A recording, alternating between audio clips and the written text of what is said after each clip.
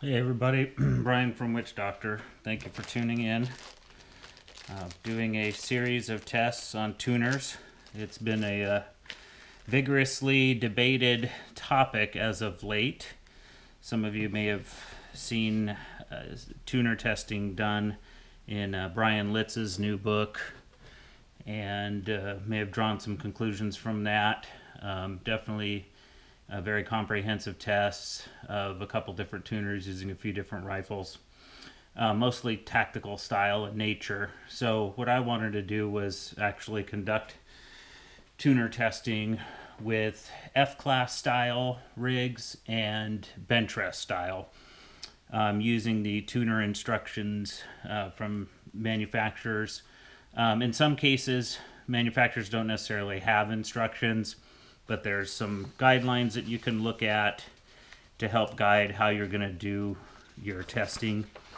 Uh, there's a, a, article, a dropped shot and precision rifleman, with some good information that I've reviewed.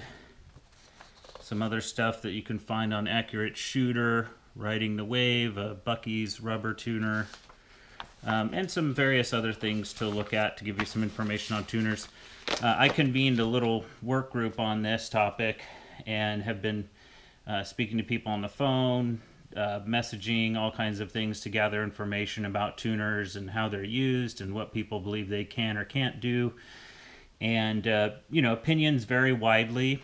I've heard, you know, stories about tuners performing miracles and um, some people will say, you know, no, they don't. You have to do certain things to get them working right, etc. So, uh, pretty wide variety of ideas out there, but I have been able to come up with some communalities in some of the themes and also put together uh, some testing here to help sort of, you know, figure some of these things out and see what's the deal with the tuners.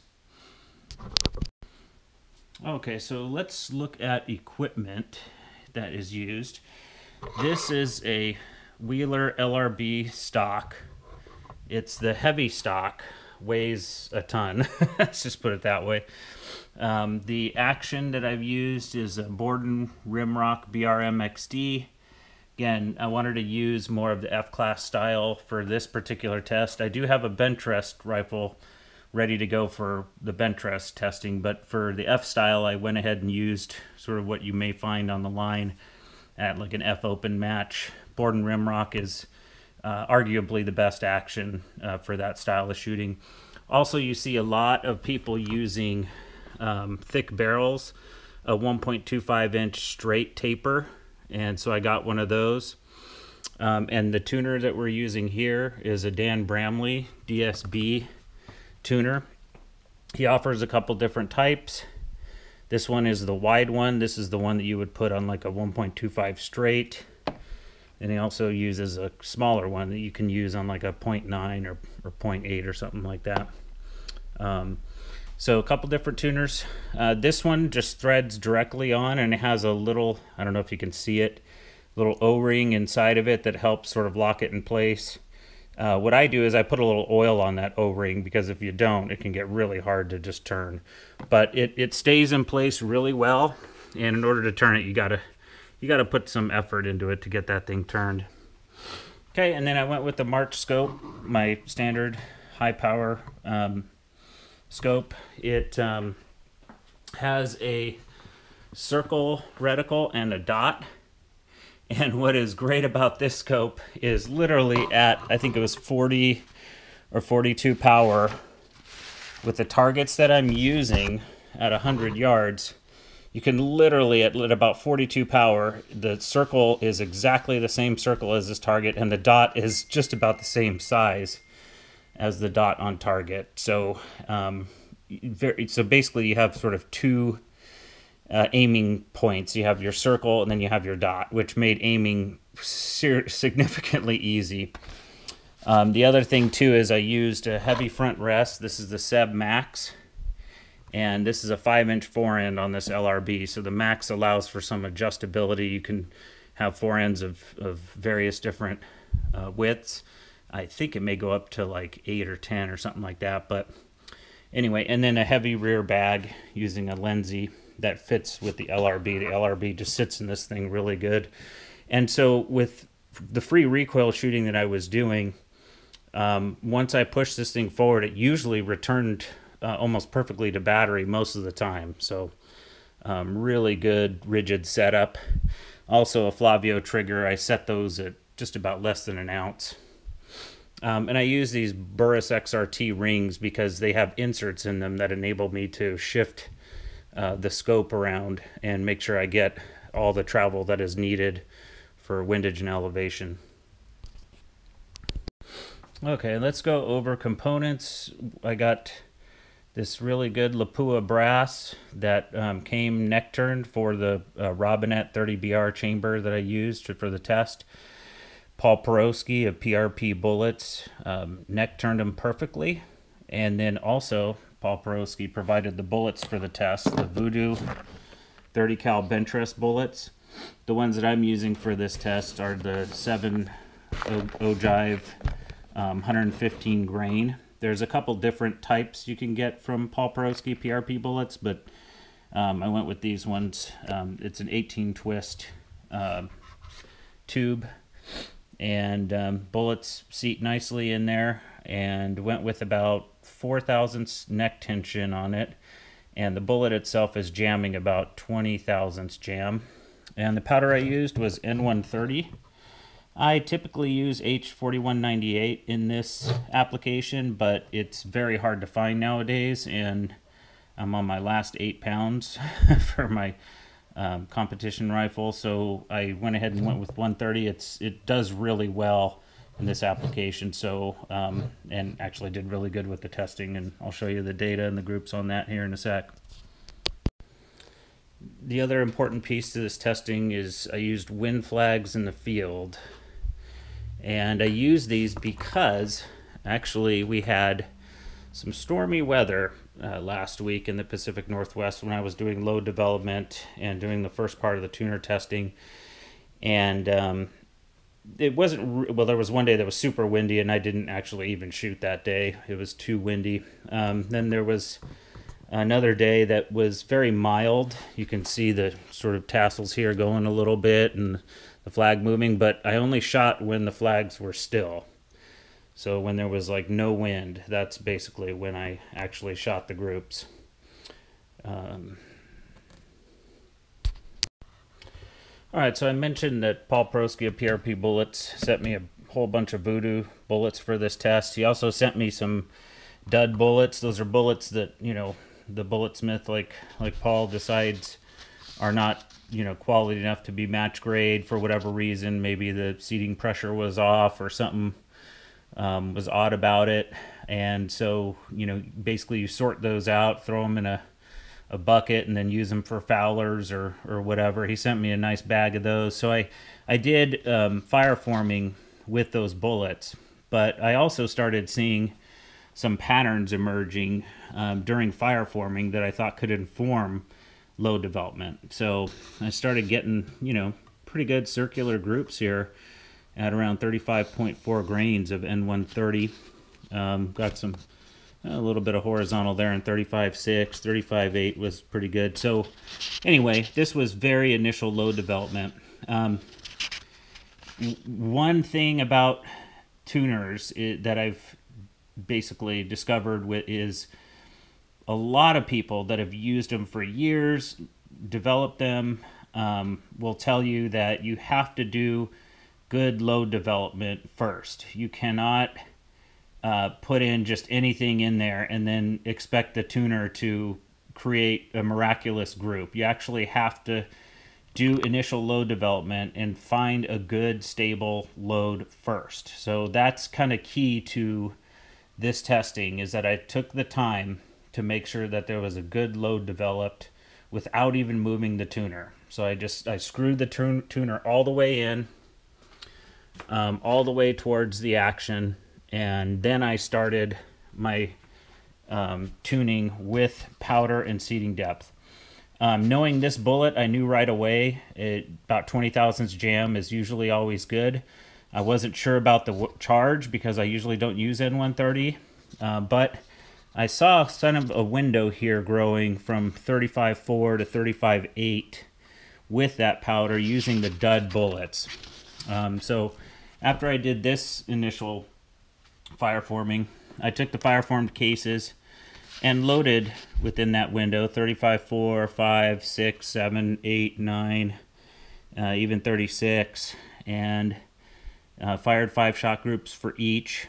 And I found, you know, pretty good range, uh, pretty good tune window here between 35.5 and 35.7. Um, as you can see, 35.6 was the best. Uh, point of impact was almost the same among these three, um, even with 35.8.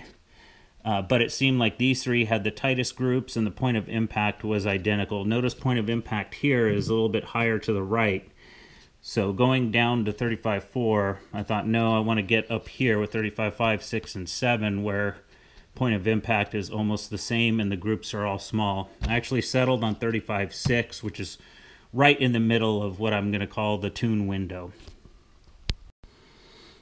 Okay, so what I ended up doing was set it again. The tuner did not move up until now.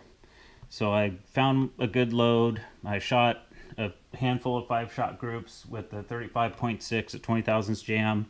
They were all small, um, and I thought, okay, this is this is a good load, pretty stable. And then I went about firing three shot groups, turning the tuner one hash mark at a time to see what what am I getting on paper here. What do the group shapes look like? What do the size of the groups look like?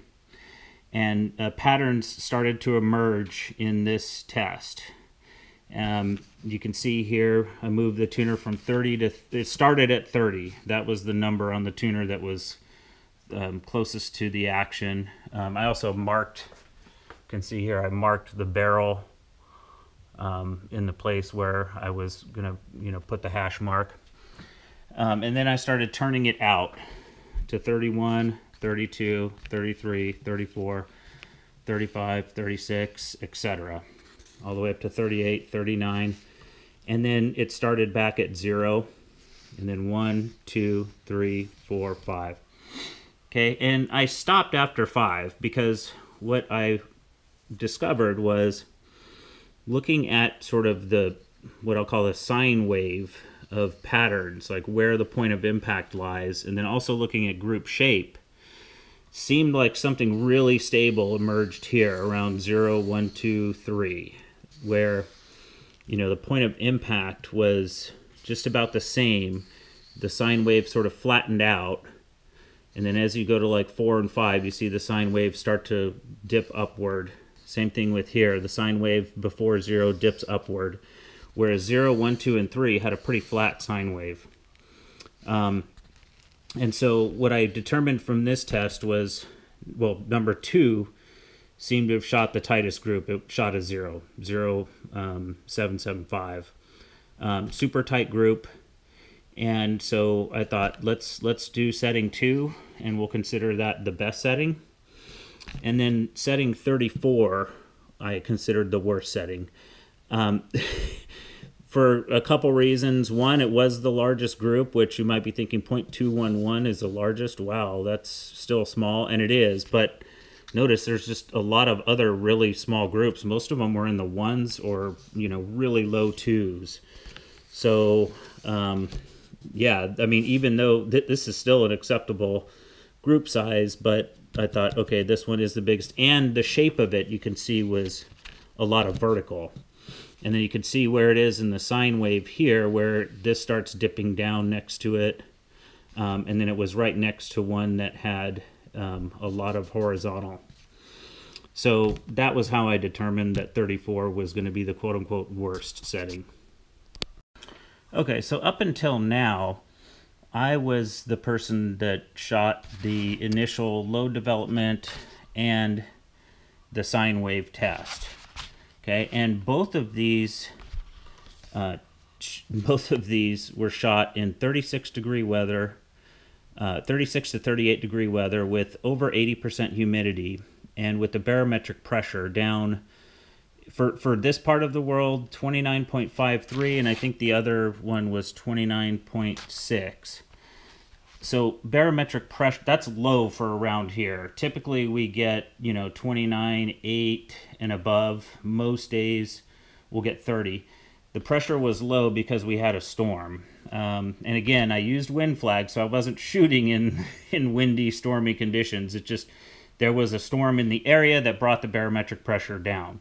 So that's going to be important to remember with this test is that um, the initial load development and the sine wave test were shot when the barometric pressure was was was low. Okay. Now I've done my own um, weather factor testing, and I've actually found that out here, and I, I, tested this for I think a solid year, where I went out and I shot several five shot groups in various weather conditions, plotted them all on a um, on a correlation um, plot, and found that all the firing that I did below 29.7 of station pressure or barometric pressure was where the groups opened up a lot. They doubled in size. So above 29.7, the groups were half the size as they were from below 29.7. So there is definitely uh, an impact on precision uh, when it comes to barometric pressure. The lower it is, the the the basically um, you get some precision differences. Now, what I was able to do though is I I plotted those on a data set and I looked at them and I found that um, okay, it's 29 below 29.7. I'm getting double size groups. I had to actually rework the load to get the groups to go da- to shrink back to what they typically were in above 29.7. So that tells me that barometric pressure can definitely impact uh, precision. And so that's definitely a factor to remember. It's going to be important to this test too. Okay, so what I ended up doing again, this was in low barometric pressure of 29.61, again 38 degrees, over 80% humidity. I went ahead and fired several five shot groups. Um, all oh, I'm sorry, I didn't shoot them. I had a shooter who was blind to the actual tuner setting. I was the one setting the tuner while the shooter was, um, you know, walking around the range or something, and then I would call him back, and then he would sit down get behind the rifle and shoot the groups for me. Um, and so he actually he didn't really even know what a tuner was. Uh, he's definitely a good group shooter, um, but he's heard of tuners, but he doesn't really know what they do. So he had no idea what the heck I was doing up at the front of the rifle anyway. Um, and, and I told him to walk away every time I, I did anything to the tuner, or, or I told him I was doing something to the tuner after every five shot group, but he had no idea what I was doing. Anyway, so I alternated between shooting, um, having him shoot five shot groups with the setting of two and 34. As you can see here, I had him start with two, then I switched it to 34, back to 2, left it at 2, switched it back to 34, left it at 34, back to 2, 34, etc. And had them shoot several five shot groups. Okay. Um, what I found from that is there was a statistically significant difference between the best and the worst setting. The tuner setting 2 produced an aggregate of 0.18315 and the tuner setting 34 produced an aggregate of 0.2739. Okay, um, a pretty pretty big difference when you're looking at you know bench rest and shooting precise groups or F class and you know uh, making sure you're shooting everything in the 10 ring. Anyway, that was statistically significant at 0.003, which is well below the cutoff of 0.05. Um, I did look at group shape. Group shape is definitely an important factor when you're looking at tuners.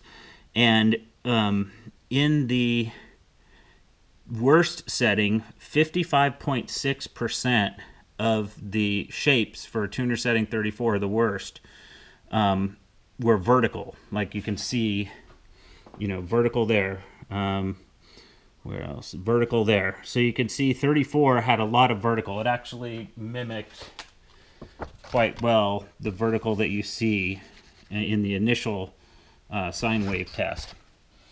Okay, and so 55 over half had vertical and only 11% had circle.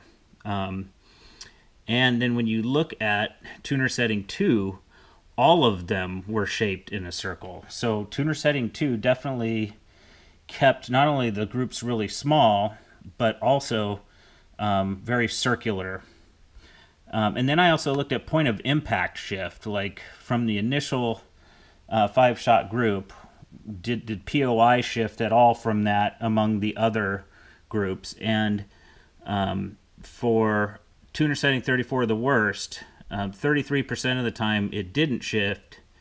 Um, it, but for tuner setting 2, 70% of the time it didn't shift. So for whatever reason, the best tuner setting shoots the smallest groups, keeps them circular, and you tend not to get any point of impact shift. They all uh, seem to have impacted in around the same area. Um, whereas with tuner setting 34, yeah, about 76% um, had some, some form of point of impact shift. Okay, now here's another interesting result. So in the previous analysis, it was pretty clear that there was a statistically significant difference between the worst and the best setting. Days later, after the storm moved away, I went to the range and I looked at the barometric, uh, sta- I'm sorry, the station pressure when I arrived, and it was 30.05. So markedly higher than the other testing, which to me indicated that, oh, you know, I'm probably going to have you know an out of tune rifle here. Um, if it's if it's that much of a difference uh, in station pressure from one shooting episode to the next, it's it's very likely, given my previous studies on atmospheric effects, that I'm going to have some kind of um, uh, tune issue. And that's actually exactly what happened. When I went and I shot tuner setting two, the groups opened up quite a bit. So I was not able to sort of get the precision that I really wanted out of the rifle with tuner setting 2. It was typically shooting in the ones. Again, remember the aggregate for the set of shots that I that I did before when I compared 34 to 2 was 0.18315. Now I'm shooting in the mid twos with it. So I went ahead and I, I looked at my previous um, anal- sine wave analysis, and right next to two was number three, which shot a really small group and it had the same POI. So I went ahead and moved it to three. So I turned the tuner to three to see if I can regain a tune. And that didn't seem to work. I was again shooting around, you know, mid to low to mid twos. And then I noticed, okay, well, one and zero actually did pretty good. So I shifted it over, I turned the tuner over to one, and bam, it started just hammering. um, and so basically, what I got was um, when I compared tuner setting two to tuner setting one, I saw a statistically significant difference that was um, had a probability of below 0.05 um, so that told me that turning the tuner one hash brought the tune back um, because I was statistically significantly smaller in group size, and that was 0.15958, which is very similar to the 0.18315. Okay, so and then when I compared tuner setting 3 to 1, that also had a statistically significant difference. So um, it turns out that um, the tune window, because of that barometric pressure drop, um, had sort of shifted over this way. So I wasn't able to get the precision that I thought I can get from setting three, and it sort of shifted this way, and one sort of turning it to one brought it back into tune. Coincidentally, turning it to one actually turns it closer to the barrel. So, um, and it's turning it to the right like this, and that's threading it in. So, turning it one hash towards the barrel seemed to have compensated for the pretty large drop in station pressure. Now, mind you, the actual temperature and humidity were just about the same. I mean, the temperature was around 38 degrees, humidity was 87%, and I think 81% um, on the other day. And yep, 81%. So, um, temperature and humidity didn't seem to be a factor at that point because they were literally controlled for. They have they were about the same on those days, but barometric pressure was significantly lower. So, um, so essentially, what I found was this sort of shift in tune window that was impacted by barometric pressure.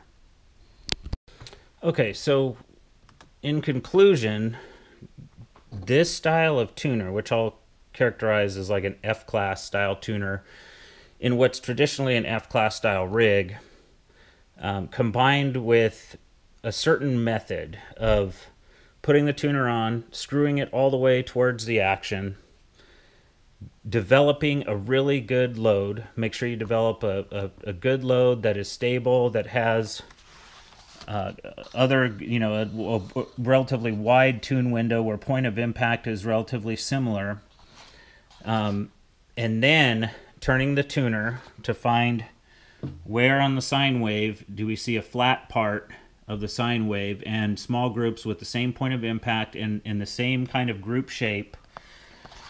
Using that method has basically shown that the tuner can be used to regain your tune. So if you are shoot like like for example, let's say you developed your load in stormy weather when barometric pressure was low, but then your match or your next shooting episode is when your barometric pressure is high uh, be ready. There, you may have to turn the tuner in order to get back into tune, which is what this test showed. Is that the usefulness of the tuner is that is being able to essentially um, combat or or counterattack, however you want to call it, uh, or compensate for the significant difference in weather conditions and put you back into tune without having to go back to the drawing board with redeveloping a load. Okay. So this this testing that I'm doing is ongoing. It's this is just the first wave of tests that I've been able to do, and I have statistically significant data at this point. Um, I fired several five shot groups. I'm just about out of this box of 500 bullets. Paul, if you could send me some more, I'd appreciate it. um, and I am going to continue this testing. I'm going to be looking at you know, is there anything going on with temperature variation, humidity variation, whatever it may be. So this is literally an ongoing test. It is definitely not um, done, but the data presented here today is statistically significant and tells me that you can get a reliable tuner setting of best and worst. And then also, when the weather or the atmospheric conditions change on you, you can regain the tune. Okay. Um, so those are important things to know um, about sort of what the tuner can do and and um, and, and its function. Okay, well that concludes the first part of what's going to be a series of tuner testing. Um, and I want to send a thank you out to everybody who's made contributions to this, and and to also disclose that I have in no way benefited financially from this. So um, this is not a product um, demonstration. I was not paid to do this test. Um, a lot of these components were donated by people, and people made various types of great financial contributions to my Patreon, through my Patreon, um, and other means to make this test happen. Um, so, but uh, in no way am I getting paid by anybody, by any tuner manufacturer. Um, in fact, I don't want to get paid by uh, any tuner manufacturer to conduct tests on their tuner because I, I don't want to be uh, potentially biased and all of that. I want to be able to uh, do this type of testing in the most objective manner possible. Um, and that means, you know, not accepting um, any um, no contracts or anything like that from tuner manufacturers. But Anyway, so we will continue the testing and see where this goes. I also have a short range bench rest rifle that, um, again, components for that have been donated, and I appreciate the donations, and we will continue the testing with that and also this rig. Okay, everybody, thank you so much. Um, please subscribe, like, and share. Um, if you could, please join my Patreon page and become a patron at some point in the near future, um, I'm probably going to be posting most of my tests uh, for patrons only on that page. Um, and probably do a lot less YouTubing. Um, so I think it'd be great if you can uh, come on board with my Patreon page and, and become a contributor there. Um, it's definitely helping to support these tests.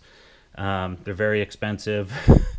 you know, I'm, I'm using you know my own primers, all kinds of other stuff, and so um, there is a big cost associated with all these uh, tests. So I would certainly appreciate you joining as a patron. All right, everyone, take care. We'll see you again.